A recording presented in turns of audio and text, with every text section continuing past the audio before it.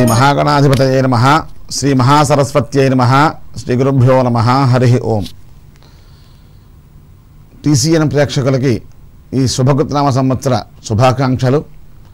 ఈ రోజున ఉగాది సంవత్సరాది అంటారు. ఈ ఉగాది రోజున పంచాంగాన్ని వినమని శాస్త్రం చెబుతోంది. ఎందుకయ్యా అంటే ఈ పంచాంగాన్ని వినడం వల్ల శ్రీకళ్యాణ గుణావహం రిపుహరం దుస్వప్న దోషాపహం గంగాస్నాన విశేష పుణ్యఫలదం గోదానతుల్యం వృణాం ఆయుర్వృద్ధినవత్తమం శుభకరం సంతాన సంపత్ప్రదం నానాకర్మ సుసాధనం సముచితం పంచాంగమాకర్ణ్యతాం. ఈ పంచాంగాన్ని ఈ రోజు వినడం వల్ల పంచాంగం అంటే తిథి వార నక్షత్ర యోగకరణాల యొక్క అంటే కాలస్వరూపం. కాలస్వరూపుడు ఎవరు? భగవంతుడు విష్ణుమూర్తి. విష్ణుమూర్తి శివుడన్నా ఒకటే. అటువంటి కాలస్వరూపుడిని మనం ఒకసారి ధ్యానం చేసుకోవడం ఆయన రూపాన్ని మనం ధ్యానం చేసుకోవడమే అంటే మనస్సులో ఆయన ధ్యానం చేసుకోవడమే పంచాంగాన్ని వెళ్ళడం అనమాట ఈ పంచాంగాన్ని వెళ్ళడం వల్ల శ్రీకళ్యాణ గుణావహం రిపుహరం అంటే రిపు పాపాలన్నీ కూడా పోతాయట. సంతానం లేని వారికి మనస్ఫూర్తిగా కనుక ఈ తిథివార నక్షత్ర యోగంలా కనుక విన్నట్లయితే ఆ యొక్క గర్భస్థ ఉన్నటువంటి దోషాలన్నీ పోయి సంతానం కలిగే అవకాశం ఉంది. సంతానం అభివృద్ధిలోకి వస్తారు. గంగా స్నానం చేసే ఫలితం లభిస్తుంది గోదానం చేసిన ఫలితం లభిస్తుంది. ఆయుర్వృద్ధి అంటే అపమృత్యు దోషాలన్నీ కూడా పోయి ఈ యొక్క కాలస్వరూపుణ్ణి మనం తలుచుకున్నాం కనుక ఈ కాలంలో చక్కగా ఆనందంతో భోగభాగ్యాలతో ఉంటామని శాస్త్రం చెబుతోంది. అటువంటి ఈ శుభకృతనామ సంవత్సరంలో ఈ రోజున మనం ఆ పంచాంగాన్ని మనం వినబోతున్నాం. ఈ సంవత్సరం శుభకృతనామ సంవత్సరం. చాలా విశేషమైనది మంచి ఫలితాలు. శుభకృత అంటే మంచి ఫలితాలు ఇచ్చేటువంటి సంవత్సరం. గత రెండు సంవత్సరాల నుంచి మనందరం కూడా కరోనా బారిన పడి అనేక ఇబ్బందులు పడుతున్నాం. ఈశ్వరానుగ్రహం చేత మన కర్మభూమి కనుక మనం చేసే కర్మల వల్ల మన భూమికి ఇంకా ఎటువంటి ఇబ్బందులు ఉండవని శాస్త్రం చెబుతోంది.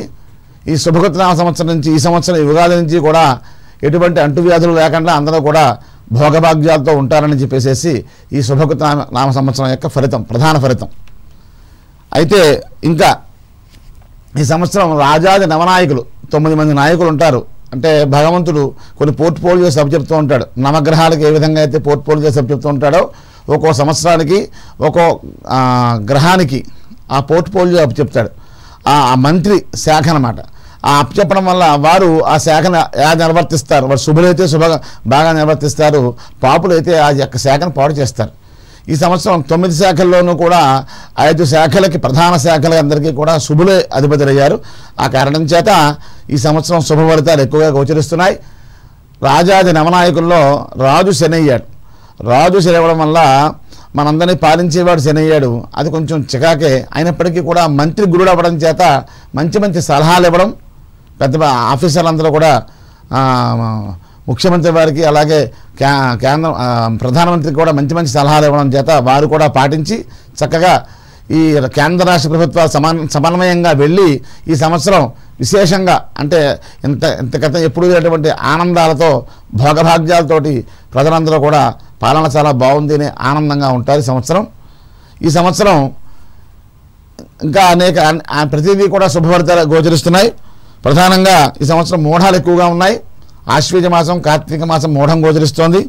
అలాగే ఈ ప్రధానంగా మనం చెప్పుకోవాల్సింది ఏమిటయ్యా అంటే ఈ ఏప్రిల్ పన్నెండో తారీఖున రాహువు అష్టాదశంచేవ అంటే పద్దెనిమిది నెలలు ఉన్నాడు వృషభంలో ఉన్నాడు. అటువంటి రాహువు మేషంలోకి వెనక్కి వెళ్తాడు కనుక అపసవ్యంగా వెళ్తాడు కనుక మేషంలోకి వస్తున్నాడు రాహువు అదో విశేష ఫలితం. అలాగే శని గత రెండున్నర సంవత్సరాలుగా ఉన్నటువంటి మకరంలో ఉన్నటువంటి శని ఈ నెల ఇరవై తొమ్మిది ఈ నెల ఇరవై తొమ్మిదో తారీఖున తన యొక్క స్వక్షేత్రమైనటువంటి కుంభరాశిలోకి వెళ్తున్నాడు. మరలా తిరిగి పన్నెండు జూలై అంటే అందరూ కూడా ఏలినాడు శని వెళ్ళిపోయింది అష్టమ శని వెళ్ళిపోయింది అర్ధాష్టమ శని వెళ్ళిపోయింది అనుకున్న వాళ్ళకి మళ్ళీ తిరిగి వస్తున్నాడు. కంగారు పడకండి. కానీ ఏమి దానివల్ల చెడ్డ ఎప్పుడు కూడా భయపడకూడదు. ఇవన్నీ కూడా విని దానికి ఏమైనా శాంతి చేసుకుని ముందరకు వెళ్ళాలి తప్ప అయ్యి బాబా అని కంగారు పడితే ఏమీ జరదు ఇక్కడ ఈ శని మకరంలోంచి కుంభంలోకి వెళ్తున్నాడు. మళ్ళీ కుంభంలోంచి మకరంలోకి వస్తున్నాడు. జూలై పన్నెండులో వచ్చినటువంటి శని మరలా తిరిగి జనవరి పదమూడున కుంభంలోకి వెళ్తాడు ఇంక తిరిగి రాడు మళ్ళీ వెనక్కి రాడు. అలాగా ము- ముప్పై నెలలు ఉంటాడు ఒక శని. త్రింశన్ మాసం శనేశ్వర అని ముప్పై నెలలు ఉంటాడు. అటువంటి శనేశ్వరుడు ఈ- సంవత్సరం మారడం ఇరవై ఏప్రిల్లో మారడం. అలాగే గురుడు పన్నెండు నెలలకు ఒకసారి మారుతూ ఉంటాడు. ఆ మారినప్పుడే పుష్కరాలు వస్తూ ఉంటాయి మనకి. ఈ సంవత్సరం ఈ ఏప్రిల్లోనే అన్నీ కూడా ఏప్రిల్లో జరిగాయి. ఏప్రిల్ పదమూడవ తారీఖున ఆ గురుడు తన స్వక్షేత్రమైనటువంటి మీనరాశిలోకి వెళ్తున్నాడు. అలా మీనరాశిలోకి వెళ్ళడం వల్ల అతని బలం ఎక్కువగా ఉంటుంది. ఏ ముహూర్తం పెట్టినా కూడా గురు బలమే చూసుకుంటాం కనుక గురుడి సంవత్సరం చాలా బాగున్నాడు. వివాహాలకి ఉపనయనాలకి ఏ- యజ్ఞాగాది అన్నిటికీ కూడా. గురుబలం బాగుంది కనుక అందరూ కూడా ఏమైనా చేద్దాం అనుకునే సంకల్పం ఉన్న వాళ్ళు ఈ సంవత్సరం చేసుకుంటే ఆ యొక్క ముహూర్తం బలం వల్ల ఆ యొక్క వటువు ఆచార్యుడు అలాగే వధూవరులు అందరూ కూడా చాలా సంతోషంగా ఉంటారు. అది ప్రణీత అన్నది పుష్కరాలు దారితీస్తుంది అంటే గురుడు ఏ ఏ ఏ రాశిలోకి వెళ్తే ఒక్కో రాశిలోకి వెళ్తే ఒక్కో రకమైనటువంటి నదికి పుష్కరాలు వస్తాయి. ఈ సంవత్సరం గురుడు తన స్వక్షేత్రమైనటువంటి మీనరాశిలోకి ఏప్రిల్ పదమూడో తారీఖు వెళ్తున్నాడు. వెళ్ళడం వల్ల ప్రణీతా నదికి ఆదిలాబాద్ జిల్లాలో ఉన్నటువంటి ప్రణీతా నదికి పుష్కరాలు వస్తున్నాయి ఈ సంవత్సరం. ఈ సంవత్సరం పంటలు ఏమిటి ఎరుపు పంటలు బాగా పండుతాయి. రెండు గ్రహణాలు ఉన్నాయి. అక్టోబర్ ఇరవై ఐదో తారీఖున పాక్షికంగా సూర్యగ్రహణం అది స్వాతి నక్షత్రం పడుతోంది.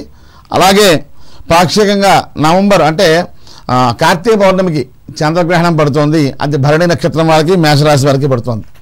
ఈ విధంగా ఈ సంవత్సరం ప్రధానమైనటువంటి గ్రహాలన్నీ కూడా గతి మారుతున్నాయి కనుక అంటే యొక్క రాశులు మారుతున్నాయి కనుక చక్కగా అంటే వాటి వలన కొంతమంది శుభాలు కొంతమందికి ఇబ్బందులు కలిగే అవకాశం ఉంది. అందరూ కూడా తమ యొక్క జాతకాన్ని ఒకసారి పరిశీలన చేయించుకుని జన్మలగ్న పత్రికని అలాగే గోచార పత్రికని కూడా ఒకసారి చూసుకుని దానికి చేయించవలసినటువంటి శాంతులు చేసుకున్నట్లయితే విశేష శుభ ఫలితాలు కలుగుతాయి. ముందుగా ఈ సంవత్సరం ద్వాదశ రాశి వారి గురించి తెలుసుకుందాం. దాంట్లో మేషరాశి.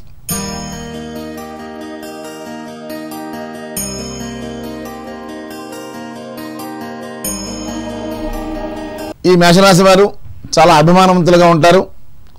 కోపం చికాకు ఎక్కువగా ఉంటుంది. వాళ్ళకి కాన్ఫిడెన్స్ ఉంటుంది అది ఎక్కువగా ఉంటుంది ఓవర్ కాన్ఫిడెన్స్ అవుతుంది. అందువల్ల వాళ్ళకి కొంచెం కాన్ఫిడెన్స్ తగ్గించుకుని ముందుకెళ్ళినట్టయితే మేషరాశి వారికి విశేష ఫలితాలు ఉంటాయి. వీళ్ళు చపల చిత్తం స్టెబిలిటీ ఉండదు. పొగడ్తగా బాగా లొంగుతారు ఈ మేషరాశి వారు. ముఖ్యంగా చెప్పే విషయం ఏంటి మేషరాశి వారు కన్యారాశి వారితో చాలా జాగ్రత్తగా ఉండాలి. అంటే కన్యారాశి వాడు ఈ మేషరాశి వారిని మోసం చేసే అవకాశం ఎక్కువ ఉంటుంది మాటలతోటి. వాళ్ళతో జాగ్రత్తగా ఉండాలి. ఈ సంవత్సరం మేషరాశి వారికి కంటకశని వెళ్ళిపోతుంది. కంటకశని వెళ్ళిపోవడం వల్ల ఉద్యోగంలో అభివృద్ధి వస్తుంది. ఉద్యోగంలో ఉన్న టెన్షన్స్ అన్నీ కూడా తగ్గుతాయి. శని లాభంలో వస్తున్నాడు. అలాగే ధనం స్థానంలో ఉన్నటువంటి రాహు కూడా లగ్నంలో రావడం చేత ధన ధన విషయంలో ఉన్నటువంటి ఇబ్బందులను కూడా చికాకులు తొలగిపోతాయి. గురుడు వ్యయంలో ఉన్నాడు. ఆ కారణం చేత ఈ మేషరాశి వారికి సంవత్సరం శుభమూలకంగా వ్యయం అవుతుంది అంటే ఇల్లు కట్టడం కానీ వివాహం చేయడం కానీ అటువంటి వ్యయం శుభమూలకంగా వ్యయం అవుతుంది అన్ని విధాలా కూడా చక్కగా ఉంది మేషరాశి వారికి. ఆడవారి వలన సంతానం వలన కొంచెం ఇబ్బంది కలి ఇబ్బంది కలిగే అవకాశం ఉంది. కొంచెం జాగ్రత్తగా ఉండాలి. కొన్ని మిశ్ర మిశ్రమ ఫలితాలు కూడా గోచరిస్తున్నాయి. వీళ్ళు ఈ సంవత్సరం విదేశయానం చేసే యోగం ఎక్కువగా ఉంది. విదేశాలు చదువుకోవడానికి విదేశాలు వెళ్ళడానికి కూడా మేషరాశి వారికి సంవత్సరం చాలా బాగుంది. వీళ్ళు జాయింట్ వ్యాపారాలు మాత్రం చేయకూడదు. జాయింట్ మాత్రం మేషరాశి వారికి ఎట్టి బస్సులో కూడా పనిచేయవు. రియల్ ఎస్టేట్ వ్యాపారం అంటే కుజుడు అధిపతి కనుక వీళ్ళు రియల్ ఎస్టేట్ వ్యాపారం చేస్తే చాలా బాగుంటుంది. ఈ సంవత్సరం మేషరాశి వారు తీర్థయాత్రలు బాగా చేస్తారు. తీర్థయాత్రలు విశేషంగా చేస్తారు. ఈ ఇల్లు కట్టడం చేత పెళ్ళి చేయడం చేత కూడా రుణాలు అవుతూ ఉంటాయి. కంగారు పడక్కర్లేదు రుణాలు తీరుతాయి. రుణం చేసే చేస్తారు. వీళ్ళు ఈ సంవత్సరం కుటుంబంలో సౌఖ్యం ఆనందం కూడా ఉంటుంది మేషరాశి వారికి. స్థానచలనం అంటే ప్రమోషన్లు కానీ ప్రమోషన్ల ద్వారా వెళ్ళడం కానీ లేకపోతే మామూలుగా స్థానచలనం కానీ వాళ్ళకి ఇష్టమైనటువంటి స్థానానికే బదిలీ బదిలీ అయ్యి వెళ్ళే అవకాశం ఉంది ఈ మేషరాశి వారు. రేపు జూన్ జూలై నెలల్లో కొంచెం వాహన ప్రమాదాలు జరిగే అవకాశం ఉంది. అందువల్ల ద్వితీయంలో అంటే జూన్ జూలైలో కొంచెం ఇబ్బంది కలిగే అవకాశం ఉంది. వాహనాలతో జాగ్రత్తగా నడిపేప్పుడు జాగ్రత్తగా ఉండాలి. వీళ్ళు మరింత ఉపశమనం బాగా ఉండి ఆనందంగా ఉండడం కోసం అని దుర్గాదేవిని ఆరాధన చేయాలి. ఇప్పుడు చెప్పేటువంటి ఇవన్నీ శాంతులన్నీ కూడా మనకి గోచారంలో చెప్పే శాంతులు. జన్మలగ్నం అంటే మీ జాతక చక్రం వల్ల జరిగేవి డెబ్బై శాతం అయితే ముప్పై శాతం జరుగుతాయి. అందువలన వాటిని కూడా పరిశీలన చేసుకుని మీరు ముందరకెళ్ళినట్లయితే చక్కగా ఉంటుంది. మేషరాశి వారి మరింత ఫలితాల కోసం దుర్గాదేవిని బాగా ఆరాధన చేయాలి. అలాగే మహాశివరాత్రి మహాశివరాత్రికి కూడా అభిషేకం చేయించుకోవాలి. అలాగే ఆంజనేయ స్వామిని ఆరాధన బాగా చేయాలి. మేషరాశి వారు వీరు మారేడు చెట్లు ఒక ఐదు మారేడు చెట్లు కనుక ఐదు శివాలయాల్లో పాతినట్లయితే వీళ్ళకి విశేష శుభఫలితాలు లభిస్తాయి. తదుపరి వృషభరాశి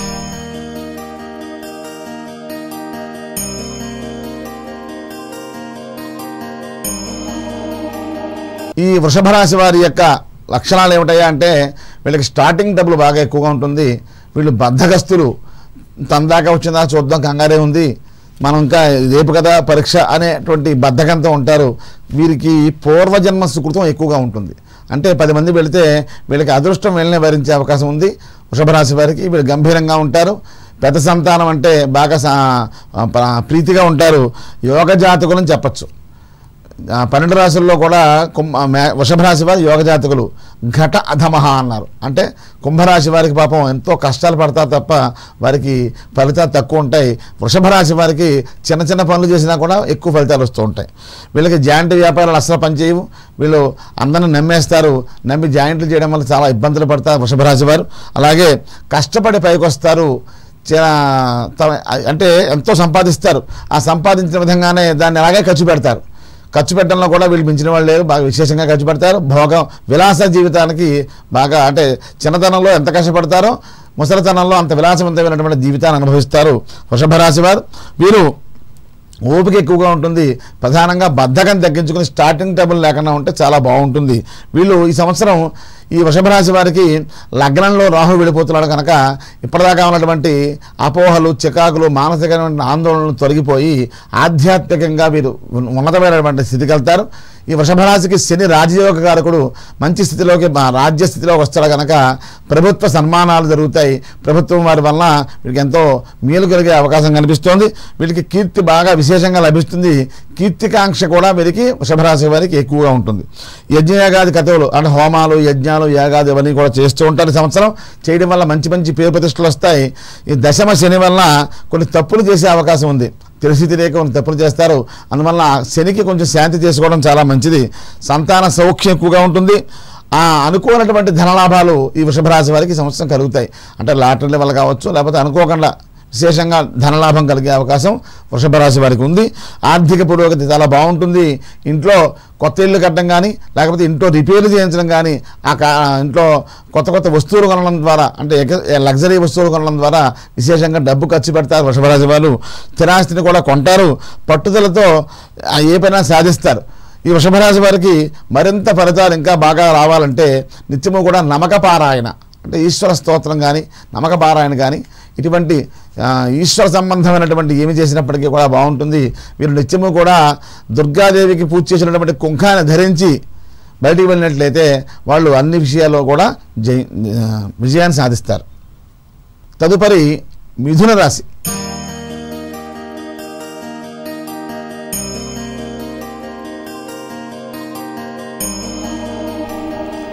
ఈ మిథున రాశి వాళ్ళు మిథునం అంటే భార్యాభర్తలు కలిసి ఉంటారు కదా చూస్తారు.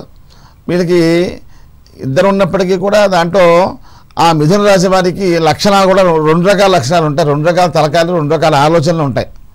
అలాగే ద్విముఖ ద్విముఖ ప్రవర్తన రెండు ముఖాలు ఉంటాయి కనుక రెండు ముఖాలతో రెండు రకాల ప్రవర్తనలు ఉంటాయి.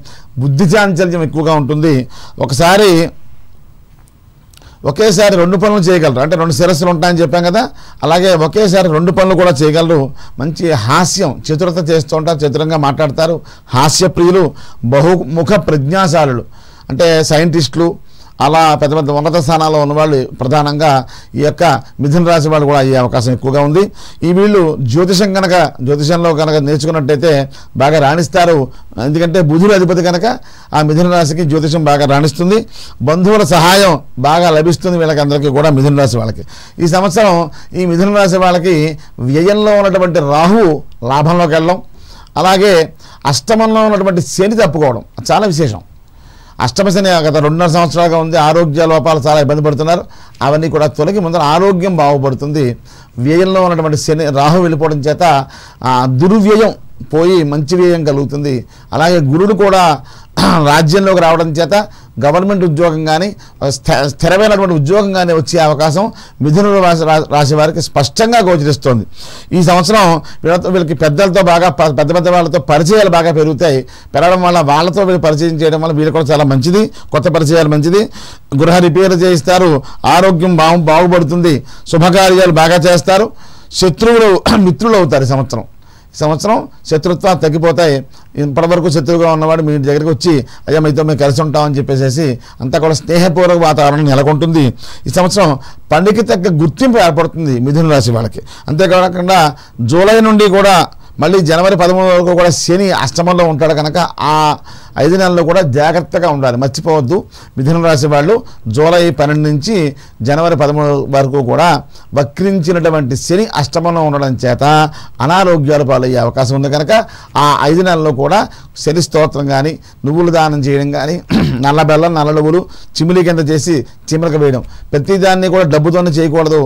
శాంతి అంటే మనం ప్రధానంగా చేసుకున్నదే ప్రధాన శాంతి. బ్రాహ్మణ చేయించే చేయించవచ్చు మనం చేసుకున్న దానికి ఎక్కువ ఫలితం ఉంటుంది.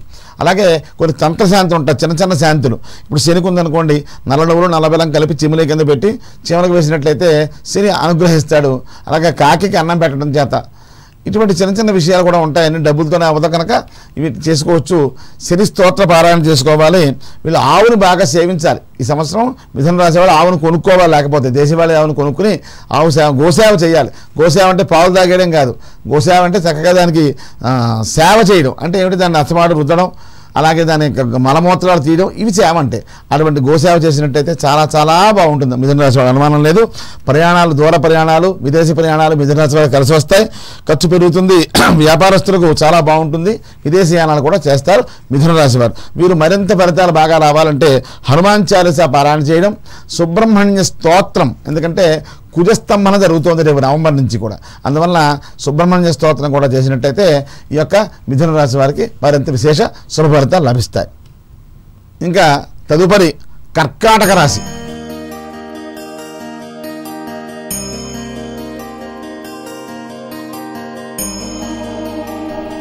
ఈ కర్కాటక రాశి వారికి సంవత్సరం ఆదాయం ఐదు వ్యయం ఐదు రాజపూజ్యం ఐదు అవమానం రెండు. ఈ కర్కాటక రాశి వారు బాగా సెన్సిటివ్గా ఉంటారు. తల్లి అంటే బాగా ఇష్టంగా ఉంటారు. వీళ్ళు ప్రధానంగా శీతాకాలం చాలా జాగ్రత్తగా ఉండాలి. కర్కాటక రాశి వారికి నూటికి యాభై అరవై మందికి చూసుకోవడం కావాలంటే ఎక్కడైనా సరే ఆస్మా అంటే జలుబు దగ్గు ఎక్కువగా ఉంటే తగ్గవు గమని రొంప ఇవన్నీ కూడా తగ్గవు. అందుకనే ఆ విషయంలో జాగ్రత్తగా ఉండాలి. వాళ్ళు చంద్ర శాంతి చేసుకున్నట్లయితే ఆ రొంపలు దగ్గులు తగ్గే అవకాశం కనిపిస్తుంది. తల్లి అంటే బాగా ఇష్టంగా సెన్సిటివ్గా ఉంటారు. అలాగే వీళ్ళకి లీడర్షిప్ అంటే ఇష్టం. అంటే ఒకేసారి పైకి రావడం పది మంది మీద అజమాయిషి చెలాయించడం అంటే ఆ సత్తా ఉంటుంది వాళ్ళ దగ్గర. అందువలన అలా లీడర్షిప్ చేస్తూ ఉంటారు. కానీ స్టెబిలిటీ ఉండదు. ఆ స్టెబిలిటీ లేకపోవడం వల్ల ఎంత ఉన్నత స్థితికి వచ్చినా కూడా మళ్ళీ కిందకి వెళ్ళిపోవడం చిక్కాకలు చేసుకోవడం జరుగుతూ ఉంటుంది. అలాగే ఆర్ట్స్ అంటే లలిత కళ ఎందు బాగా ఆసక్తిగా ఉంటారు వీరు. ఈ యొక్క కర్కాటక రాశి వారికి సంవత్సరం ఆఫీసులో బాగా ప్రెషర్స్ ఎక్కువగా ఉంటాయి. విదేశయానం ఖచ్చితంగా చేస్తారు. దూర ప్రయాణాలు చేస్తారు. విదేశయానం చేయడం వల్ల బాగుంటుంది కర్కాటక రాశి వారికి. ఈ సంవత్సరం ప్రయాణాల్లో విలువైన వస్తువులు పోతూ ఉంటాయి. అందువలన కర్కాటక రాశి వారు మీ యొక్క సెంటిమెంట్ అయిన వస్తువులను చాలా జాగ్రత్తగా పెట్టుకోవాలి ఈ సంవత్సరం. గురుడు భాగ్యమందు వెళ్తున్నాడు. చాలా చాలా మంచిది అనమాట గురుడు భాగ్యంలోకి వెళితే విశేష భాగ్యాన్ని కలిగిస్తాడు. వివాహం కాని వాడి వివాహం సంతానం లేని వాడి సంతానం. ఏ ఇల్లు కట్టుకు వాళ్ళ ఇల్లు అన్నీ కూడా ఇస్తాడు. భాగ్యగురుడు పైగా స్వక్షేత్రగురుడు కనుక కర్కాటక రాశి వారికి సంవత్సరం అన్ని శుభ ఫలితాలు కూడా గోచరిస్తున్నాయి. అలాగే అష్టమంలో శని వచ్చినప్పుడు మాత్రం జాగ్రత్తగా ఉండాలి. ఈ రేపు ఏప్రిల్ ఇరవై తొమ్మిదిన వస్తాడు కనుక అప్పటి నుంచి కూడా జూన్ దాకా కూడా కొంచెం ఆరోగ్య విషయంలో చాలా శ్రద్ధగా ఉండాలి. నూతన వాహనాలు కొంటారు. భార్యకి కొంచెం అనారోగ్యం వచ్చే అవకాశం ఉంది కనుక భార్య విషయంలో జాగ్రత్తగా ఉండాలి. ట్రాన్స్ఫర్లు జరుగుతాయి. అవి కూడా మంచిది అవుతుంది. వీళ్ళకి నరఘోష ఎక్కువగా ఉంటుంది. కర్కాటక రాశి వారికి విశేషమైనటువంటి నరఘోష ఎక్కువగా ఉంటుంది. అప్పులు బాగా చేస్తారు. అయినప్పటికీ కూడా వీళ్ళు అప్పులు చేసినప్పటికీ కూడా తర్వాత అది ఫ్యూచర్లో వాళ్ళకి ఉపయోగపడే అప్పులు చేస్తారు కనుక ఆ విషయంలో కంగారు పడక్కర్లేదు. కర్కాటక రాశి వారికి మరింత ఫలితాలు కావాలంటే సూర్య ఆరాధన చేయాలి. అలాగే వినాయక ఆరాధన అంటే బుధవారం బుధవారం కూడా విఘ్నేశ్వరుడికి గరిక మాల వేయడం. అలాగే గరిక గణపతి దగ్గర పెట్టి అది ధరించడం. అలాగే ఆ శని ఉండడం చేత కాకికి అన్నం పెట్టడం నువ్వులు నువ్వులు ఉండ చీమలకు వేయడం నువ్వుల దానం చేయడం శని శనికి తైలాభిషేకాలు చేయించుకోవడం సూర్యారాధన చేయడం ఆరోగ్యం కోసం సూర్య భా ఆరోగ్యం భాస్కరాది ఇచ్చేతన్నారు కనుక సూర్యారాధన ఆదిత్య హృదయ పారాయణ ఇత్యాది శాంతం చేసుకున్నట్టయితే కర్కాటక రాశి వారికి ఇంకా విశేషంగా ఉంటుంది. తదుపరి సింహరాశి.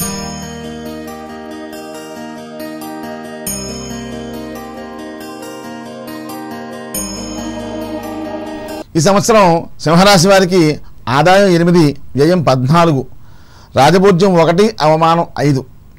ఈ సింహరాశి వారు ఎవరికి కూడా భయపడరు. తను అనుకున్నదే జయించా తను అనుకున్న మాట నిలవాలనేటువంటి తత్వం సింహం లాంటి వాళ్ళు వీళ్ళు.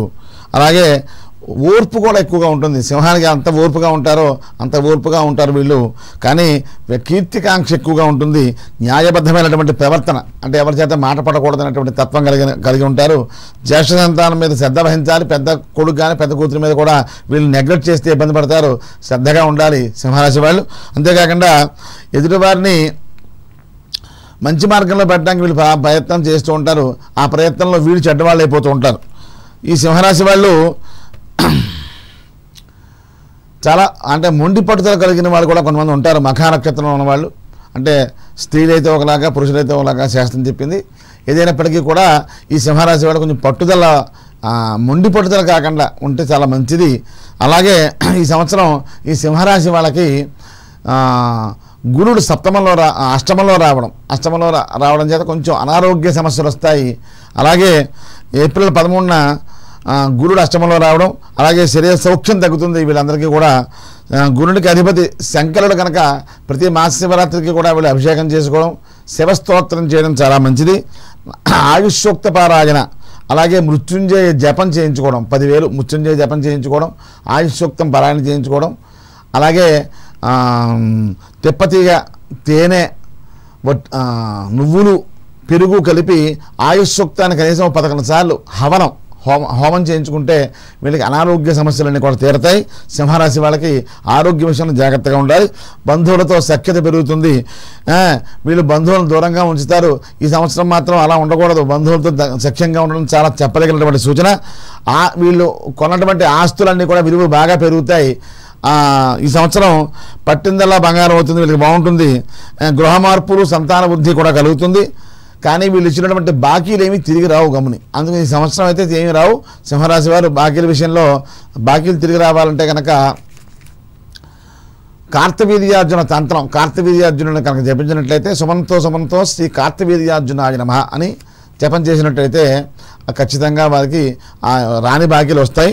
అంతేకాకుండా ఈ సంవత్సరం బాగా క్షేత్ర దర్శనం చేస్తారు సింహరాశి వారు. క్షేత్ర దర్శనం బాగా చేస్తారు. జ్ఞాపక శక్తి తగ్గిపోతుంది.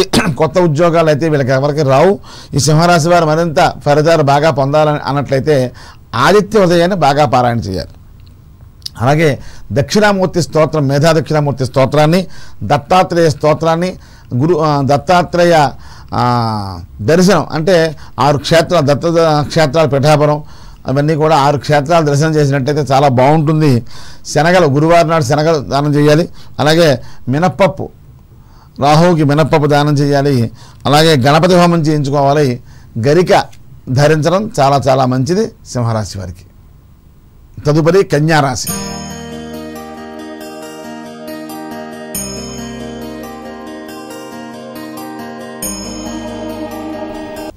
కన్యారాశి వారికి సంవత్సరం ఆదాయం పదకొండు వ్యయం ఐదు. రాజపూజ్యం నాలుగు అవమానం ఐదు. ఈ కన్యారాశి వాళ్ళు అందరినీ ఆకట్టుకునే స్వభావంతో ఉంటారు. వీరి మాట తీరు అంతా కూడా చాలా పర్ఫెక్ట్గా పదునుగా ఉంటుంది. ఎంతటి వాటినైనా సరే తన యొక్క మాటలతోటి ఆకర్షించుకుంటారు. కానీ తను ఏమన్నా కూడా చిన్న మాట అన్నా కూడా పడరు. అలాగే ఈ సంవత్సరం ఎక్కువ వీళ్ళు తమ భార్య వల్ల కానీ భర్త వల్ల కానీ వాళ్ళకి అనారోగ్యాల వల్ల వీళ్ళు బాగా బాధపడుతూ ఉంటారు. అనారోగ్యాలు ఈ సంవత్సరం ఎక్కువగా ఇబ్బంది పడతాయి. మీరు మార్కెటింగ్ ఫీల్డ్లో అంటే మాటలతో ఏదైనా చేయగలరు కనుక మార్కెటింగ్ ఫీల్డ్లో బాగా రాణిస్తారు. అలాగే ఏదైనా వస్తువు అమ్మాలంటే కన్యా రాశి వాళ్ళ వల్లే అవుతుంది. ఎటువంటి దానైనా అమ్మేయగలరు కన్యా రాశి వాళ్ళు. అలాగే ఒక మాట వీళ్ళని కాని మాట ఏమాత్రం అన్నా కూడా వీళ్ళు పడరు కన్యారాశి వాళ్ళు. ఈ సంవత్సరం కన్యారాశి వాళ్ళకి అష్టమంలో రాహు వస్తున్నాడు. అష్టమలో రాహు రావడం చేత అనారోగ్యం కలిగే అవకాశం ఉంది. అలాగే పంచమంలోంచి శని షష్టంలోకి వెళ్ళడం చాలా మంచిది. సప్తమంలో గురుడు రావడం ఇంకా మంచిది. ఈ విధంగా సప్తమంలో గురుడు రావడం వల్ల ఈ కన్యారాశి వాడికి వాళ్ళకి వివాహం కాని వాళ్ళకి వివాహం అవుతుంది.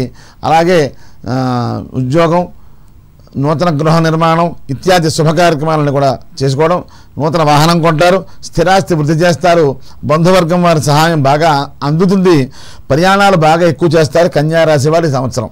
ఈ సంవత్సరం వీరు కొంతమంది చేతిలో మోసపోయే అవకాశం ఉంది కనుక గమని ఏమీ కూడా అందరిని నమ్మేసి డబ్బులు కట్టేయకండి. అందరూ ఇప్పుడు ఆన్లైన్ మోసాలు ఎక్కువైపోయాయి కనుక చాలా జాగ్రత్తగా ఉండాలి కన్యా రాశి వాళ్ళు. ఏదో చూడడానికి తెలివైన వాళ్ళ ఉంటారు కానీ వీరు తెలివితేటలు కొన్ని చోట్ల చాలా చంటి ప్రవర్తి చేస్తుంటారు. అలాగే లగ్జరీ జీవితం మీద బాగా లగ్జరీ జీవితాన్ని బాగా అనుభవిస్తారు కన్యారాశి వాళ్ళు. జీవిత అలాగే తీర్థయాత్ర ఈ సంవత్సరం బాగా చేస్తారు. వాక్చాతుర్యం ఎక్కువగా ఉంటుంది. ప్రారంభం చివర కూడా ఈ సంవత్సరం ప్రారంభంలోనూ చివర కూడా కన్యారాశి వారికి చాలా బాగుంటుంది. గురుబలం బాగుంది. అన్యోన్యత భార్యాభర్తల మధ్య అన్యోన్యత ఎక్కువగా ఉంటుంది. అలాగే విదేశాలు వెళ్ళే వాళ్ళకి ఇది మంచి సమయం. ఈ కన్యారాశి వాళ్ళు మరింత ఫలితాలు కావాలంటే రాహుకేతువులను ఆరాధన చేయడం అలాగే వాళ్ళు శాంతి చేసుకోవడం. దుర్గా ఆరాధన రాహుకి అధిష్టాన దేవత దుర్గాదేవి కనుక చండీ సప్తశతి పారాయణ చేయడం కానీ శ్రీదేవి ఖడ్గమాల స్తోత్రం పారాయణ చేయడం కానీ అమ్మవారి దగ్గర పూజ చేసినటువంటి కుంకాన్ని ధరించడం చేత కానీ వీరు చాలా విశేషంగా విశేష శుభవృతాలు పొందుతారు కన్యారాశి వాళ్ళు.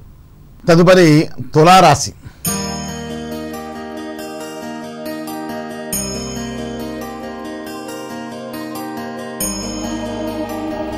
ఈ తులరాశి వారికి ఈ సంవత్సరం ఆదాయం రెండు వ్యయం ఎనిమిది రాజభుజ్యం ఏడు అవమానం ఐదు.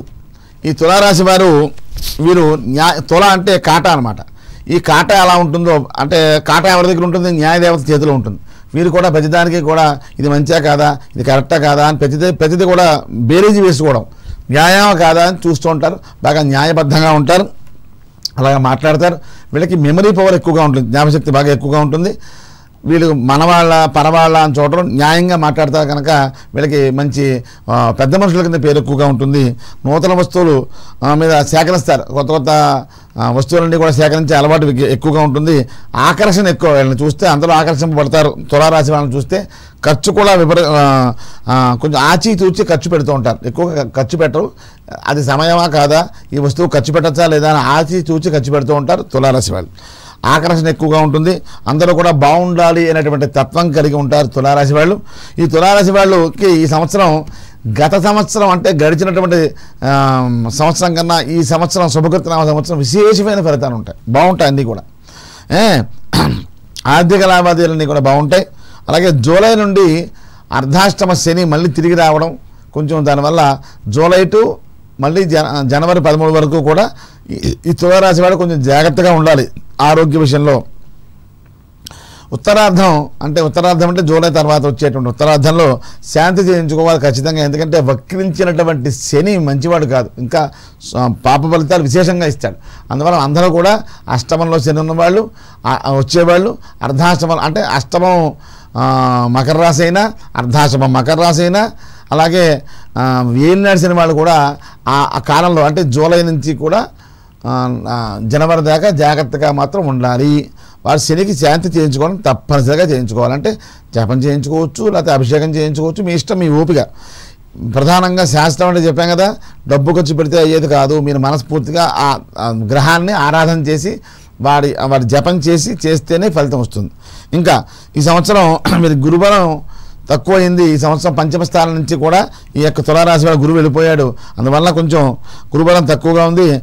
ఆ వీళ్ళకి ఆధ్యాత్మికత పెరుగుతుంది. ఎందుకంటే లగ్నంలోకి కేతు వచ్చాడు. కేతు జ్ఞాన మోక్షకారకుడు. ఆ కారణం చేత మంచి జ్ఞానాన్ని ఇస్తాడు. భార్యకి అనారోగ్యం చేయిస్తాడు. ఎందుకంటే రా- సప్తంలో రాహు ఉన్నాడు కదా. కొంచెం భార్య కానీ భర్త కానీ అనారోగ్య పాలవుతారు. జాగ్రత్తగా ఉండాలి. వీళ్ళకి వైరాగ్యం వస్తుంది ఎక్కువ తులారాశి వారి సంవత్సరం.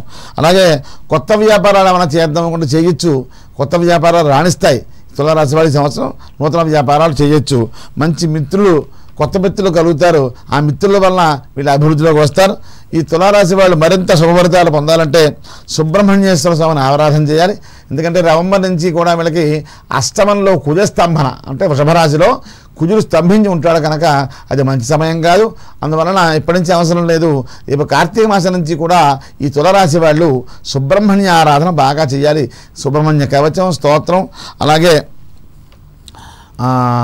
సుబ్రహ్మ సుబ్రహ్మణ్య క్షేత్రాలు కుక్కీ కుక్కీ కానీ మన దగ్గరలో ఉన్నటువంటి అత్తిరి ఇటువంటి క్షేత్రాలని కూడా ఆరు క్షేత్రాలు కనీసం దర్శనం చేసుకుంటే కొంచెం మనస్సు ప్రశాంతత కలిగి ఆ సుబ్రహ్మణ్య కుజ అనుగ్రహం చేత వీరికి మంచి శుభత కలుగుతాయి. అలాగే ఇంకా వీరు శత్రుపాశుపత అభిషేకం చేయించుకుంటే చాలా మంచిది ఈ సంవత్సరం తులారాశి వాళ్ళు. ఈ సంవత్సరం వీరికి ఇవన్నీ శాంతి చేయించుకున్నట్లయితే ఇందాక చెప్పినటువంటి శుభ ఫలితాల కన్నా ఇంకా విశేషంగా కలుగుతాయి. తదుపరి వృశ్చిక రాశి.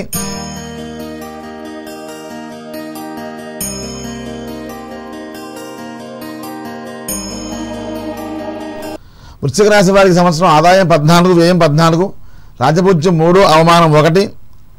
ఈ వృశ్చిక రాశి వారు వృశ్చికం అంటే తేలు. తమ జోలికి రాకపోతే ఎవరు అందరినీ బాగా చూస్తారు. తమ జోలికి వస్తే మాత్రం ఎవరిని వదిలిపెట్టరు. వీళ్ళు దాన ధర్మాన్ని బాగా చేస్తారు గుప్తంగా చేస్తారు కనిపించని హడావుడి చేయరు. తమ వరకు వస్తే కానీ ఎవరిని మాట్లాడరు తమ జోలికి వస్తే మాత్రం వదిలిపెట్టరు కుట్టేస్తారు. కో- వీళ్ళకి ఊహాశక్తి ఎక్కువగా ఉంటుంది. సిక్స్త్ సెన్స్ అన్నమాట. ఎక్కువగా ఉంటుంది. అంటువ్యాధులు వీళ్ళకి ఎక్కువగా వస్తాయి. అంటే విష సంబంధమైనటువంటి రాశి కనుక అంటువ్యాధులు ఎక్కువగా వస్తాయి. వీళ్ళు మన కరోనా బారిన పడిన వాళ్ళలో ఎక్కువ మంది వృశ్చిక రాశి వాళ్ళు అయి ఉంటారు ఖచ్చితంగా. అలాగే ఇతరుల దోషాలను బాగా ఐడెంటిఫై చేస్తారు. అంటే పది మంది మాట్లాడుతుంటే నీలో దోషం ఉంది అని చెప్పేటువంటి అంటే ఆ లూప్ ఫోర్స్ అన్ని కూడా వీళ్ళు బాగా తెలుస్తాయి.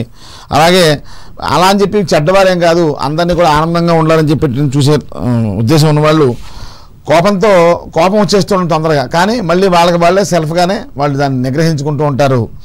ఆనందాన్ని తనతో పాటు అందరూ పంచుకోవాలంటే తత్వం తను ఒక్కడే ఆనందంగా ఉండాలంటే తత్వం కాదు. వృశ్చిక రాశి వాళ్ళు పది మంది కూడా ఆనందంగా ఉండాలనుకుంటారు. వీళ్ళకి ఏంటంటే గత మొన్నటిదాకా కూడా పాపం ఏం నడిచిన వీళ్ళని ఏడిపించినట్టుగా నాకు తెలిసిండే ఎవరిని ఏడిపించుండదు. అంత దారుణమైన స్థితిలో ఉన్నారు. ఇప్పుడు పాపం మళ్ళీ అర్ధాష్టమశని వస్తుంది.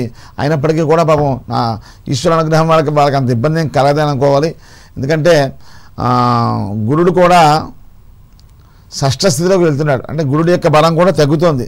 ఏదైనప్పటికీ కూడా వృశ్చిక రాశి వాళ్ళు జాగ్రత్తగా ఉండాలి. కొంచెం శనికి మాత్రం మరలా అంటే ఈ ఏప్రిల్ ఇరవై తొమ్మిది నుంచి జూలై పదమూడు దాకా అర్ధాశ్రమంలో ఉంటాడు కనుక శని శాంతి చేయించుకోవాలి. సంతాన యోగం ఖచ్చితంగా ఉన్నది. ఈ సంవత్సరం గురుబలం బాగానే ఉంది. ఎందుకంటే గురుడు పంచమంలోకి వచ్చాడు. పంచమంలోకి రావడం వల్ల గురుబలం బాగానే ఉంది. దానివల్ల శని యొక్క ఎఫెక్ట్ తగ్గుతుంది. అయితే ఇక్కడ ఇంకో విషయం ఏంటంటే వృశ్చిక రాశి వాళ్ళకి సంతాన యోగం మాత్రం నూటికి నూరు శాతం ఉంది ఈ సంవత్సరం. ఎవరన్నా అంటే వంధ్యత్వ దోషాలు ఏమైనా ఉంటే చెప్పలేం కానీ చిన్న చిన్న దోషాలు ఉన్నవాళ్ళు ఆ, అయ్యో అయ్యి చేయించుకునే వాళ్ళు చిన్న చిన్న వాళ్ళందరికీ కూడా ఖచ్చితంగా ఈ సంవత్సరం సంతాన యోగం ఉన్నది. అనుమానం లేదు. అలాగే వివాహ యోగం కూడా ఉంది. సంతానం పంచమ స్థానంలో ఉన్నాడు సంతానం అలాగే శుభ కేంద్రంలో ఉన్న కోణంలో ఉన్నాడు కనుక వివాహం కూడా అయ్యే అవకాశం ఉంది. స్థిరాస్తి బుద్ధి చేస్తారు. అన్యోన్య దాంపత్యం దంపతుల యొక్క అన్యోన్యత కూడా బాగుంటుంది వృషరాశి వారికి. విదేశీయానాలు చేస్తారు ఈ సంవత్సరం. వస్తు వాహనాలు కొంటారు. అలాగే ప్రమోషన్లు వస్తాయి. అలాగే యోగా చేయడం చాలా మంచిది. వీళ్ళు మెడిటేషన్ కానీ యోగా కానీ అటువంటి ప్రక్రియ చేస్తే వీళ్ళు మానసికంగా కొంచెం స్టెబిలిటీగా ఉండి ఆరోగ్యంగా ఉండే అవకాశాలు ఉన్నాయి. మీరు తప్పనిసరిగా చేయాలి. నవంబర్లో కుజస్తంభన వల్ల అంటే కుజుడి యొక్క రాశి కనుక కుజస్తంభన వల్ల కొంచెం ఇబ్బంది పడే అవకాశం ఉంది. అప్పుడు సుబ్రహ్మణ్య ఆరాధన చేయాలి. శనిగ్రహాన్ని శాంతి చేయాలి. ఆవుకి తెలగపిండి పెట్టాలి. తెలగపిండి పెట్టి కేతువుకి గురి కేతువు కూడా ఉలవలు దానం చేయడం. అలాగే గురు చరిత్ర పారాయణ చేస్తే ఈ యొక్క వృశ్చిక రాశి వారికి చాలా చాలా బాగుంటుంది ఈ సంవత్సరం. తదుపరి ధనుస్సు రాశి.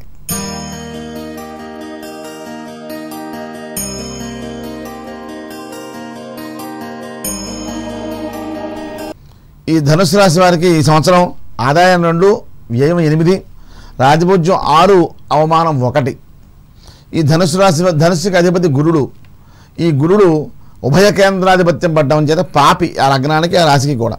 అటువంటి గురుడు ఈ సంవత్సరం చతుర్థంలో ఉన్నాడు. అలాగే ఏలినాడు శని వీళ్ళకి వెళ్ళిపోతుంది. గత ఏడున్నర సంవత్సరాల నుంచి ఉన్నటువంటి ఏలినాడు శని ధనుసు రాశి వారికి వెళ్ళిపోతుంది. ఇప్పుడు రేపు ఏప్రిల్ ఇరవై తొమ్మిదిన. వెళ్ళిపోవడం మంచిదే మళ్ళీ తిరిగి వస్తుంది. ఇందాక మీకు చెప్పాను తిరిగి వస్తుంది.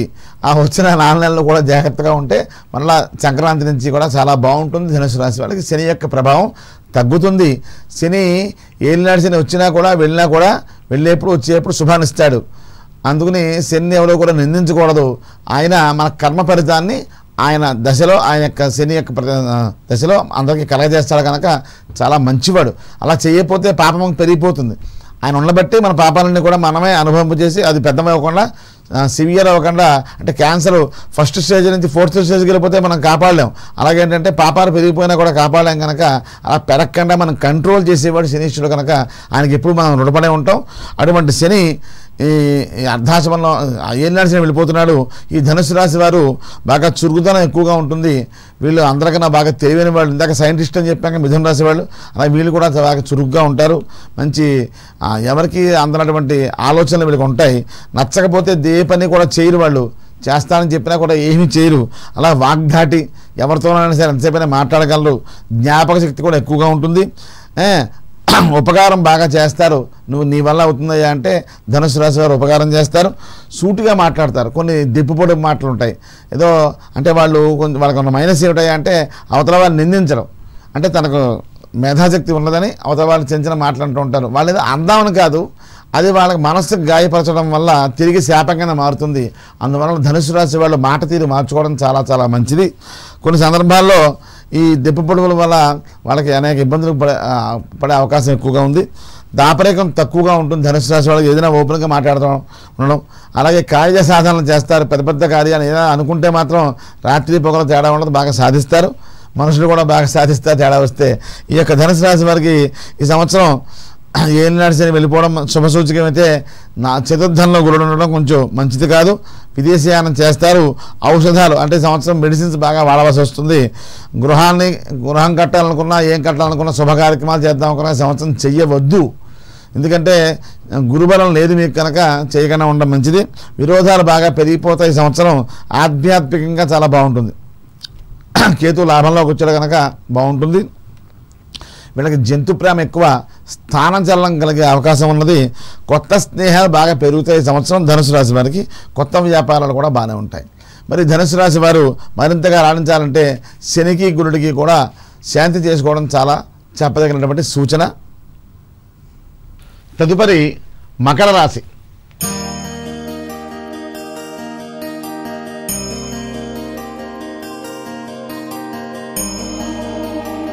ఈ సంవత్సరం మకర రాశి వారికి ఆదాయం ఐదు వ్యయం రెండు రాజభుజ్యం రెండు అవమానం నాలుగు. ఈ మకర రాశి వారికి ఈ సంవత్సరం శని లగ్నం నుంచి ద్వితీయంలోకి వెళ్తున్నాడు. ధనస్థానంలోకి అటు శరీర ఆరోగ్యం కొంచెం బాగుపడుతుంది. ధనం విషయంలో కొంచెం ఇబ్బందులు కలిగే అవకాశం కనిపిస్తుంది. వీళ్ళు బలమైనటువంటి శరీరాన్ని కలిగి ఉంటారు. అందంగా ఉంటారు మకర రాశి వాళ్ళు. ఖర్చు తక్కువగా పెడతారు. అలాగే లక్ష్యం కోసం అంటే ఏదైనా సాధించాలనుకుంటే కనుక ఉత్తప్పుడు ఎంత పిసినాతనంగా ఉన్నా ఆ పని పని వచ్చేసరికి ఎంతైనా ఖర్చు పెడేస్తారు ఇంకా. దానికి రూపాయికి పది రూపాయలు ఖర్చు పెడతారు వీళ్ళు. అయితే సంకల్ప శక్తి ఎక్కువ. ఏదైనా అనుకుంటే సంకల్పం అనుకుంటే చేసేయాలి. అంత శక్తిగా ఉంటుంది. ఖచ్చితంగా కుటుంబం అంటే చాలా ప్రేమగా చూసుకుంటారు. కుటుంబం అంటే ఆ పిల్లల్ని ఏమిటి పిల్లల్ని ఏమిటి అందరినీ కూడా ఆప్యాయంగా తీసుకోవడం వాళ్ళతో పాటు తిరగడం వాళ్ళతో పాటు ఆనందాన్ని పొందడం జరుగుతుంది. అలాగే ధన సంబంధమైన విషయాలన్నీ కూడా ఎవరికి చెప్పరు. గోప్యతగా ఉంటుంది. ఎంత ఎంత ఇదిగా ఉన్నా ఎంత ఫ్రెండ్ అయినప్పటికీ కూడా ఆర్థిక లావాదేవీలు ఎవరితో కూడా షేర్ చేసుకోరు. అలాగే చాలా కష్టపడి పైకి వస్తారు ఈ మకర రాశి వాడు చాలా కష్టపడి పైకి వస్తారు వీళ్ళు ప్రతిదానికి కూడా కీడించి మేలించాలి అనేటువంటి తత్వాన్ని కలిగి ఉంటారు. ప్రతిదానికి కూడా కంగారు పడి ఓకే అని చెప్పి అనేరు. జాగ్రత్తగా స్థిమితంగా ఒక్కో అడుగు వేస్తారు. ఈ సంవత్సరం ఈ మకర రాశి వారికి అర్ధాశ్రమంలో రాహు రావడం అలాగే రాజ్యంలో కేతు రావడం తృతీయంలోకి గురుడు వెళ్ళిపోవడం అలాగే ఏనాడు శని శని ద్వితీయంలోకి వెళ్ళడం కూడా కొన్ని చాలా విశేష ఫలితాలు గు- వల్ల వస్తాయి. జాయింట్ దారుల్లో తగాదాలు వస్తాయి. అలాగే ధైర్యంగా చేస్తే ఏ పనైనా అవుతుందని వీళ్ళు ముందరకు వెళతారు. ఆ కారణం చేత ధైర్యంగా చే ధైర్యంగా ఉండండి. అన్ని పనులు అవుతాయి. కంగారు పడకండి. అయ్యబాబాయ్ బెంగపడక్కర్లేదు అలాగే ఆరోగ్యం మాత్రం చాలా చాలా జాగ్రత్తగా చూసుకోవాలి మకర రాశి వాళ్ళు. వివాహాది శుభకార్యాలు జరుగుతాయి. పర్వాలేదు బాగానే ఉంటుంది. అలాగే దేవతారాధన బాగా చేయాలి. నిత్యము కూడా ఏదో దేవతారాధన ఒక దేవతని ఆరాధన బాగా చేయాలి. ఆఫీస్లో మాత్రం ట్రాప్లు జరుగుతాయి మీ మీద.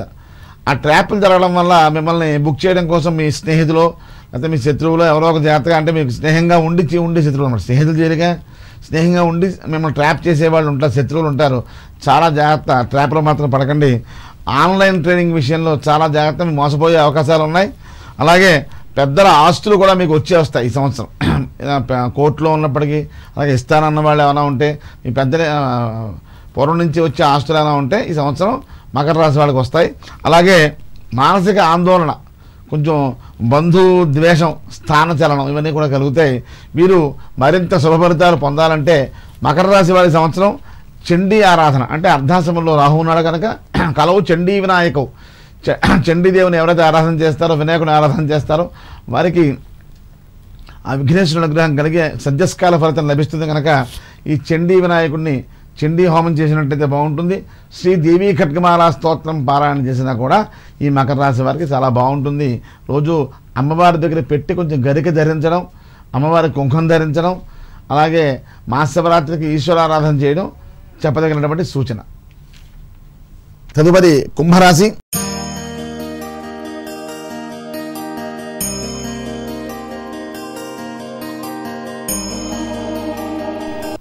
ఈ కుంభరాశి వారికి సంవత్సరం ఆదాయం ఐదు వ్యయం రెండు రాజపూజ్యం ఐదు అవమానం నాలుగు.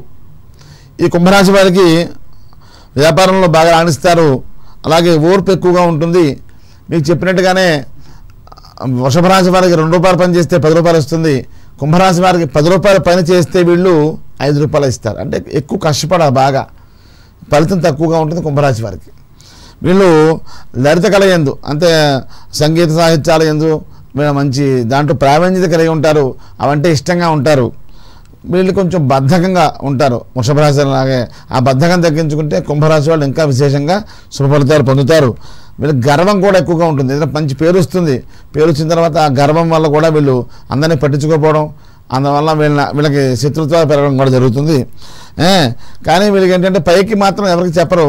గుప్త దానాలు చేయడం.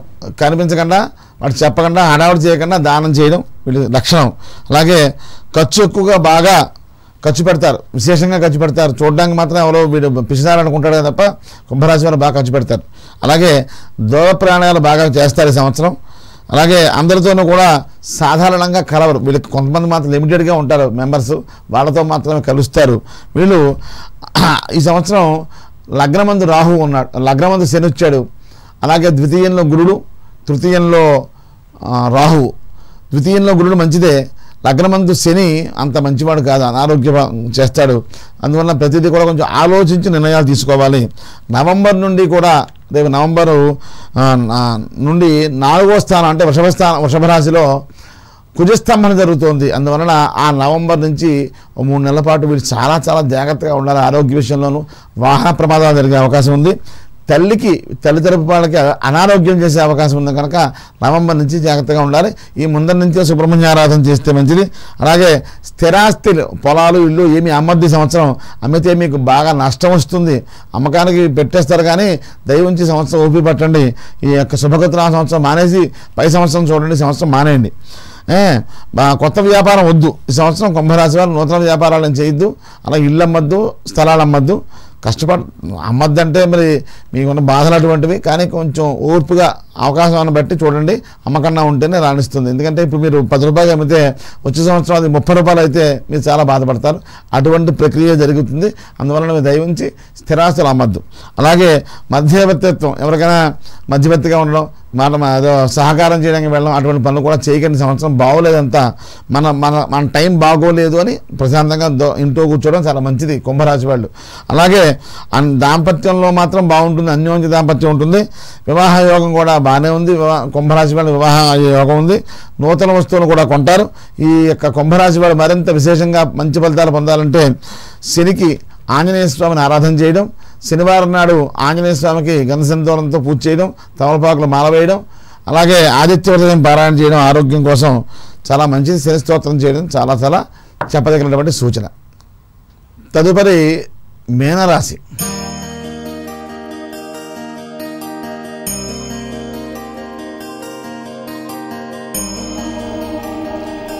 ఈ మీనరాశి వారికి ఈ సంవత్సరం ఆదాయం రెండు వ్యయం ఎనిమిది.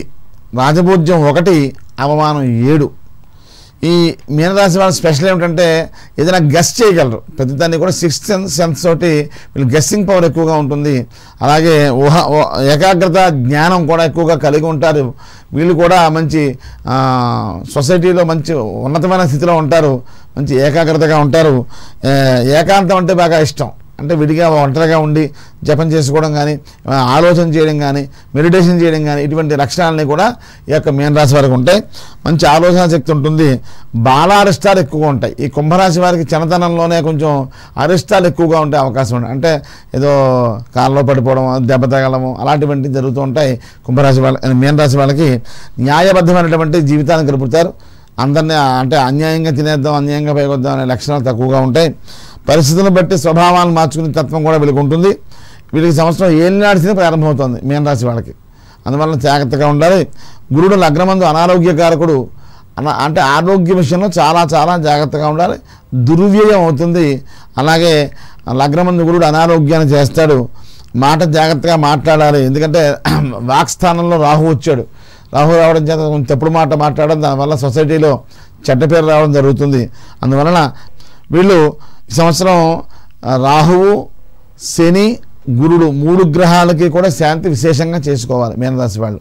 ఒక పక్కన ఏలినాడు శని లగ్నంలో రాహు లగ్నంలో గురుడు అదే జన్మలగ్నంలో ఉంటే మంచిది. గోచారంలో ఉంటే అనారోగ్యం చేస్తాడు. వాక్స్థానంలో కుటుంబ స్థానంలో ధనస్థానంలో రాహు రావడం కూడా చాలా మంచిది కాదు. అలాగే స్త్రీల చేత ఆడవాళ్ళకైతే ఇంకా వేధింపుల కింద చికాగ్గా ఉంటుంది. ఆధ్యాత్మిక మాత్రం పెరుగుతుంది. ఎందుకంటే ఇవన్నీ ఈ- బాధలన్నీ పడి పడి పడి ఆధ్యాత్మిక మీద వెళ్తుంది దృష్టి. ఆ కారణం చేత వీళ్ళు ఎక్కువగా మెడిటేషన్ యోగా నేర్చుకుంటే చాలా బాగుంటుంది. అలాగే బీపీలు పెరిగే అవకాశం ఉంది కనుక కొంచెం యోగా యోగ మార్గంలో వెళ్ళడం చాలా మంచిది. వీళ్ళు రాహుకి శనికి కూడా గురుడికి శాంతి చేసుకోవాలి. శ్రీదేవి కట్కమాల స్తోత్రం అలాగే శని స్తోత్రం దత్తాత్రేయ కవచం దత్త స్తోత్రం చేసిన దత్తాత్రేయ దర్శనం చేసుకున్నట్టే ఈ యొక్క మీనరాశి వాళ్ళకి విశేష శుభఫలితాలు లభిస్తాయి. మనం ఇంతవరకు కూడా ఈ ద్వాదశ రాశుల వారి గురించి కూడా చెప్పుకున్నాం. భగవంతుడు కాలస్వరూపణం కూడా చెప్పుకున్నాం. అందువలన మనం ఈ ఉగాది రోజున ఉగాది అంటే ఉగ యుగములకు ఆది అని ప్రారంభమైన రోజు అని. మరి ఈవేళ ప్రారంభమా? అంటే భగవంతుడు అంటే శాస్త్రం చెబుతుంది కొన్ని విషయాలు. మనం దాన్ని ఎందుకు ఏమిటి ఎలాగా అనే విషయాలు మనం దాన్ని క్రోడీకరించకూడదు. మనం పెద్దలు చెప్పిన ప- పంథాలో వెళ్ళాలి. ఎందుకంటే ఇవన్నీ కూడా ఇంకో విషయం. అందరూ అనుకుంటూ ఉంటారు పెద్దవాళ్ళు అయితే చెప్పారు మనం విన్నవి ఎందుకు ఇవన్నీ అవసరమా? ఇటువంటి ఆ, కబుర్లు చెప్తారు. మీరు అందరూ గమనించాల్సిన విషయం దీంట్లో టెక్నిక్ ఉంది. ఎవరు ఎన్ని ఇప్పుడు మేమే చిన్నపిల్లలైనా పెద్దవాళ్ళైనా ఏ తరం వాళ్ళైనా ఎందుకు కష్టపడుతున్నారు ఎందుకు ఉంటున్నారు సారాంశం ఏమిటి? ఒకటే సారాంశం ఆనందంగా ఉండడం కోసం. సుఖం కాదు మర్చిపోవద్దు అందరూ కూడా. సుఖానికి ఆనందానికి చాలా తేడా ఉంది. సుఖపడ్డం వేరు ఆనందపడ్డం వేరు. ఎవరైనా కోరుకుంటే కంగారులో సుఖం అంటారేమో తప్ప దానికి డిఫరెన్స్ చెప్తే కనుక ఆనందమే కావాలని కోరుకుంటారు. సుఖం అంటే ఏమిటి? ఒక ఏసీలో ఉండడం లగ్జరీగా చక్కగా ఏసీ రూమ్లో పడుకోవడం టీవీ చూడటం సుఖం. ఆనందం అంటే మానసిక ఆనందం. సరే మీకు ఆ ఏసీ రూమ్ ఇచ్చేస్తాం మీకు ఏం టీవీ కావాలో టీవీ పెడతాం చూస్తాం చూడండి అని ఇచ్చినప్పుడు వాడికి మానసిక సమస్యలు ఇచ్చినట్లయితే అంటే ఏదో సమస్య ఉంది రేపు నిన్ను అరెస్ట్ చేయడానికి వస్తారు. పోలీసులు అంటే మానసికంగా వాడు ఎన్ని ఏసీ రూమ్లో పడుకున్నా పడుకున్నా వాడు నిద్ర పట్టదు. ఎందుకంటే మానసికంగా వాడు శాంతిగా లేడు ఆనందంగా లేడు. మానసికంగా ఉండే ఆనందాన్ని సంతోషం అంటారు. ఇప్పుడు ఆ ఏసీ రూములు గీసీ రూములు లేకపోయినప్పటికీ కూడా అమ్మయ్య అన్నీ ప్రశాంతంగా ఉన్నాను బాధ్యతలన్నీ పూర్తి అయిపోయాయి అని ఉన్నవాడు ఆనందం కనుక ఉన్నట్లయితే వాడు అందరూ కూడా ఆనందాన్నే కోరుకుంటారు. మరి ఈ శాస్త్రాలన్నీ చేయడం వల్ల ఈ పూజలు చేయడం వల్ల పురస్కారాలు చేయడం వల్ల మనకు కలిగేది ఆనందమే. సుఖం కాదు మర్చిపోవద్దు. సుఖం కలుగుతుందా? ఎలా కలుగుతుంది? తెల్లవారుజామున వేస్తే పొద్దున చల్లు పడి కార్తీక మాసంలో వేస్తే సుఖం కలగదు. ఆనందం కలుగుతుంది. శంకర భగవత్పాదులను అడిగారు ఏమయ్యా నువ్వు చూస్తే సన్యాసివి తెల్లవారుజామున మంచులో లేచి చలిలో లేచి చన్నీళ్ళు పోసుకుంటున్నావు. నేనేమో చక్కగా రాత్రి మంచి డ్రెస్ కట్టుకుని మందు తాగుతున్నాను. చాలా ఆనందంగా ఉన్నానయ్యా. ఏమిటి అలా మందు తాగొచ్చు కదా హ్యాపీగా ఉండొచ్చు కదా అని అడిగాడు ఒక ఆయన. అంటే అప్పుడు కాలంలో అడిగితే శంకర భగవత్పాదులు చెప్పారు నాయన కరెక్టే. నువ్వు మందు తాగుతూ ఎంత ఆనందపడుతున్నావో నేను ఈ స- ఈ స్నానం చేసి దేవతార్చన చేసుకుంటూ అంతకన్నా ఆనందం పొందుతున్నాను. పోనీ అంతే ఆనందం పొందుతున్నాను అనుకో.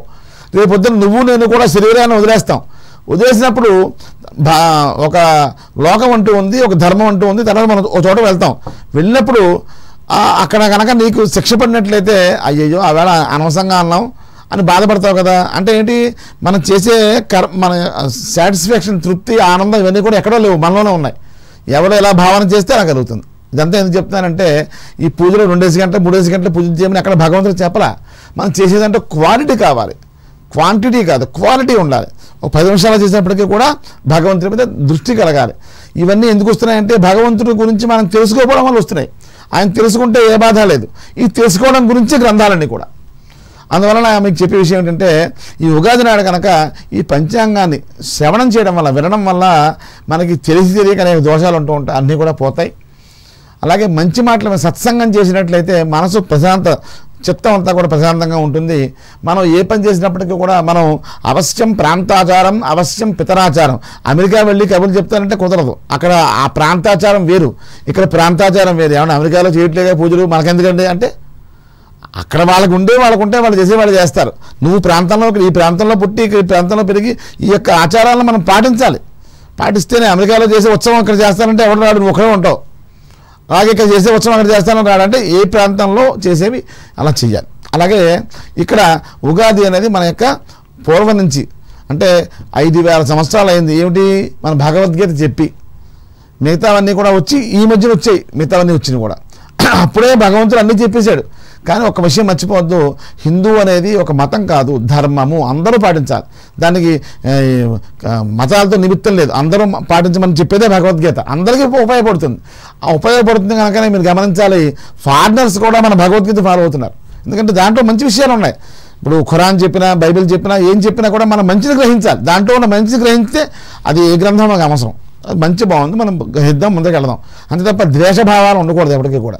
సరే ఈ రోజున చక్కగా ఈ యొక్క పంచాంగ శ్రవణం చేయడం వల్ల ఈ కొన్ని దోషాలన్నీ కూడా పోయి మనం బుద్ధి వికసింపజేస్తుంది అనమాట వాటికి బుద్ధి ఉంటుంది వికాసం ఉంటుంది కానీ సద్బుద్ధి కలగాలంటే ఈశ్వరానుగ్రహం కలగాలి ఈశ్వరానుగ్రహాదేవ పుంసాం అద్వైత వాసన అన్నారు. భగవంతుడు అనుగ్రహం కలగాలంటే ఆ యొక్క ఈశ్వరానుగ్రహం కలగాలి. ఈ మంచి మాటలు వినాలన్నా కూడా ఆయన అనుగ్రహం ఉండాలి.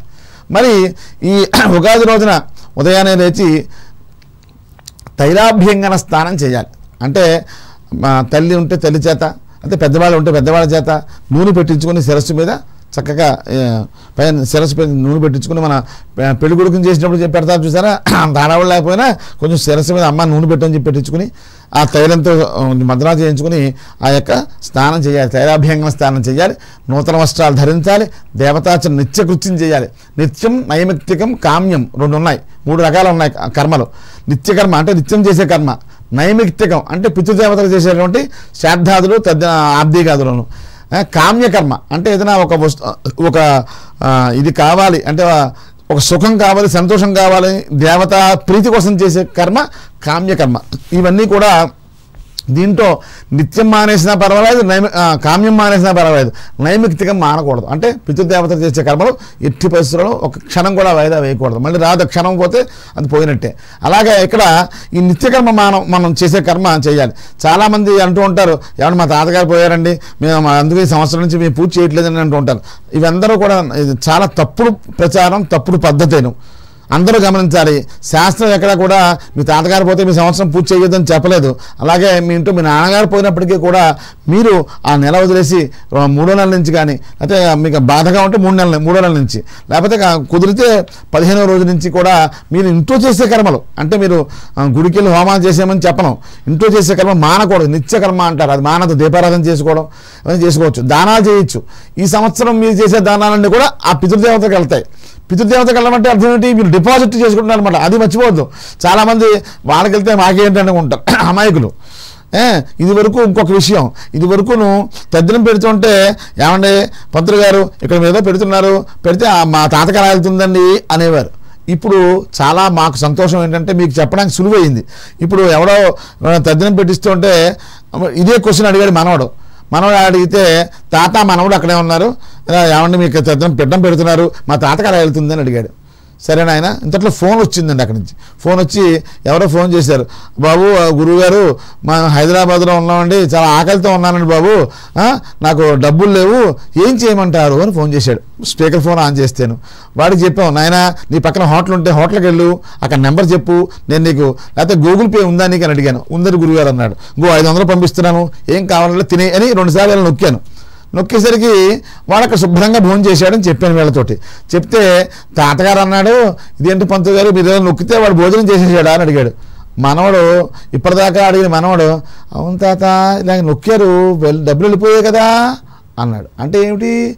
అంటే టెక్నాలజీ మనం చూస్తే కానీ మన కంటికి కనిపిస్తే కానీ ఇది నమ్మం అనమాట మనం నాసావాడు చెప్పాలి మీ ఆవు మంచిది మీ అమ్మ మంచిది అని నాసావాడు చెప్తే కానీ మనం నమ్మని దౌర్భాగ్య స్థితిలోకి మనం వచ్చేసాం. హైందవ సంస్కృతి పాడైపోవడానికి ఇదే కారణం. మనం టెక్నాలజీ పెరిగి పెరిగినప్పుడు మన మన విద్య మన పిల్లలకి విద్య నేర్పుతున్నాం తప్ప సంస్కృతి ఎవరూ నేర్పట్లేదు. అందువలన సంస్కృతి గురించి ఎందుకు మాట్లాడామంటే ఈ ఉగాది మన సంస్కృతికి ఆది. అందువలన ఈ సంస్కృతి ఇవన్నీ కూడా నాన్ సెన్స్ నూనె పెట్టడం ఏమిటి? నేను షాంపూ పెట్టుకుంటాను అంటే అవన్నీ మేము మేము ఏం చేయలేము. అన్న వ్యతిరేకంగా వాదించేవాళ్ళం అందువల్ల మీరు చెప్పేది అంటే ఒక విధంగా అనట్లేదు. అందరూ కూడా పిల్లల్ని కూడా మీరు మంచి మార్గంలో పెట్టాలి. చిన్నప్పటి నుంచి పెడితేనే వాళ్ళు పెద్ద అయిన తర్వాత మంచి మాటలు పడతారు తప్ప చూద్దాం లే వాడు కాన్వెంట్లో చదువుకున్నాడు వాడికి ఇప్పటి నుంచి ఎందుకు అని మాటలు అనద్దు. చిన్నప్పటి నుంచి వాళ్ళకి ఈ ఆధ్యాత్మికం ఈ సంస్కృతి నేర్పుతూ ఉండాలి. ఈ నెంబ కుసుమ భక్షణం అంటారు. అంటే తర్వాత ఏం చేయాలి? నూనె పెట్టుకున్న తర్వాత స్నానం చేసిన తర్వాత దేవతార్చన చేయాలి. అంటే దేవత పూ మీ ఇష్టం మీరు ఇంట్లో ఏం చేసుకుంటారు? నిత్య నిత్యకృత్యం అనమాట ఇది ఒక దేవ మీ ఇష్ట దేవతను ఆరాధన చేసుకోవచ్చు. ఇష్ట దేవతను అంటే మీకు ఏ దేవత ఇష్టమో ఆ దేవతను ఆరాధన చేసుకుని పూజ చేసుకుని తర్వాత షడ్రసోపేతమైనటువంటి నింబ కుసుమ భక్షణం. అంటే వేప పువ్వు చింతపండు తెలుసు ఆరు రకాల రుచులు. మనం నిత్యం మనకు కలిగేటువంటి రుచులన్నీ కూడా అవన్నీ ఎందుకు పెడతారో కూడా మీకు తెలుసు. ఎందుకంటే ఈ రోజున ప్రారంభం కనుక ప్రా అన్నప్రాసం రోజున అవకాశం పెడతావా అంటారు. అంటే ఏమిటి?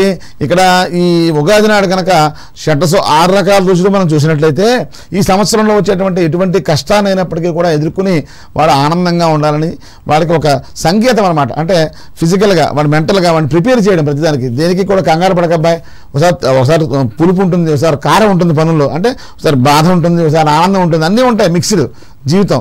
ఎవరికైనా అంబానీ గారికైనా బాధలు ఉంటాయి ప్రధానమంత్రి గారైనా బాధలు ఉంటాయి ఎవరికైనా బాధలు ఉంటాయి. బాధలు మాత్రం అందరూ all are equal before to God అన్నట్టుగా అందరూ సమానమే. అది మనం కొన్ని చెప్తారు కొన్ని చెప్పుకోరు అంతే. నా బాధపడుతున్నానని. మీకు చెప్పేది అంతా ఏమిటాయి అంటే ఈ షట్టసోపేతమైనటువంటి ఈ ఉగాది పచ్చడి తినడం వల్ల మనకి సంకేతం. పెద్దలందరూ అంటే అది చాలా చెప్పారు దాని గురించి ఎందుకు తినాలి? అంటే ఆయా కాలాల్లో వచ్చే వ్యాధులన్నీ కూడా తగ్గడం కోసం. ఇప్పుడు ఈ వగరైనటువంటి వేప పువ్వు ఇవన్నీ తినడం వల్ల ఇప్పుడు సీజనల్గా వచ్చేటువంటి ఫ్లూ జ్వరాలు ఇన్ఫెక్షన్స్ ఇవన్నీ కూడా తగ్గడం కోసం చేసేటువంటి ప్రక్రియ అంతా కూడా. అది కూడా ఏదో వండుకుని తినేయడం కాదు. వెంటనే దేవతారాధన నా నైవేద్యం పెట్టాలి. మీరు ఒక విషయం గమనించండి. మీరు ఇంట్లో ఏ పండు తిన్నా ఏ ఫలం తిన్నా ఆఖరికి కాఫీ తాగినా కూడా మీరు పని చేయాలి. కష్టపడిన పని కాదు. ఇలా కాఫీ గ్లాస్ పట్టుకుని పరమేశ్వర ఆత్మవస్తువుని తాగండి. అప్పటిదాకా అది కాఫీయే. కానీ పరమేశ్వర ఆత్మవస్తువుని ఎప్పుడన్నారో అది ఏమైంది? దేవత ప్రసాదం అయిపోయింది. ప్రసాదం తింటే దోషం పోతుంది. దోషం పోతే దోషం లేనటువంటి ప్రసాదాన్ని ఎప్పుడైతే తిన్నారో మనస్సు మంచిగా పనిచేస్తుంది. మనస్సు మంచిగా పనిచేస్తే మంచి పనులు చేస్తారు. మంచి పనులు చేస్తే జీవితం అంతా కూడా ఆనందదాయకంగా సుఖదాయకంగా సంతోషదాయకంగా వెళ్తుంది. అందువలన ఈ జాతక జాతక విషయంలో ఇంకా దీంట్లో చాలా విషయాలు ఉన్నాయి. కర్మ విపాకం అనే పుస్తకం ఉంది. ఆ గ్రంథం. ఆ గ్రంథంలో మనం పూర్వజన్మ చేసినటువంటి పాపాలన్నీ కూడా ఇప్పుడు ఎవరన్నా బాగా దీర్ఘంగా వ్యాధులు వచ్చినా సంతానం లేకపోయినా ఇటువంటి ఇబ్బందులు పడుతున్నా ఈ కర్మ విపాకం అనే గ్రంథంలో వాళ్ళు పూర్వజన్మలో చేసినటువంటి పాపాలన్నీ కూడా దాంట్లో ఉంటాయి. పాపాలు ఉండడం కాదు. దానికి ఏం చేయాలి? రెమెడీ ఏమిటి? అనేది ఉంటుంది. అందువలన అటువంటి కర్మ విభాగం అనే గ్రంథాన్ని కూడా చూడడం అటువంటి అటువంటి గ్రంథాలు మనకు ఋషులు ఇచ్చాయి కనుక వాటిని కూడా ఫాలో అయ్యి మన యొక్క కర్మలన్నీ కూడా సంచిత ఆగామి ప్రారంభ కర్మలన్నీ కూడా తొలగించుకుని తద్వారా సుఖ సంతోషాలను పొందవచ్చు. అలాగే మీకు ఏమైనా ఇబ్బందులు ఉన్నట్లయితే జాతకపరమైన ఇబ్బందులు ఏమైనా ఉన్నట్లయితే మా నెంబర్కి మీరు కాల్ చేసినట్టయితే మీకు ఉచితంగా మీకు అన్నీ కూడా పంపించగలం జాతకాన్ని ఉచితంగా పంపిస్తాం మీ అందరికీ కూడా. మీకు సమస్య ఏమైనా ఉంటే ఈ నెంబర్కి వాట్సాప్ చేసినట్లయితే మీకు ఉచితంగా సమస్యకి పరిష్కారం అలాగే మీ జాతకం పూర్తి పూర్తి జాతకాన్ని మీ మెయిల్కి కానీ లేకపోతే మీ వాట్సాప్ కానీ మీకు ఉచితంగా పంపిస్తాం. ఈ నెంబర్కి మీరు వాట్సాప్ చేయండి. అలాగే ఈ టీసీఎన్ ఈ వారు ఈ యొక్క అవకాశం మాకు ఇచ్చినందుకు ఆ, శతధా వాళ్ళకి రుణపడి ఉంటాం. ఇంతవరకు కూడా మనం ఈ ద్వాదశ రాశుల వారి యొక్క ఫలితాలు తెలుసుకున్నాం. అందువలన అందరూ కూడా చక్కగా వాటిని పాటించి ఆ శాంతుల్ని పాటించి ఆయురారోగ్య భాగభాగ్యాలతో ఉంటారని. అదేవిధంగా ఈ టీసీఎన్ ప్రేక్షకులందరికీ కూడా ఈ శుభకృతనా సంవత్సరం విశేష శుభ ఫలితాలు కలగాలని మనస్ఫూర్తిగా కోరుకుంటున్నాం. హరి ఓం తత్సత్.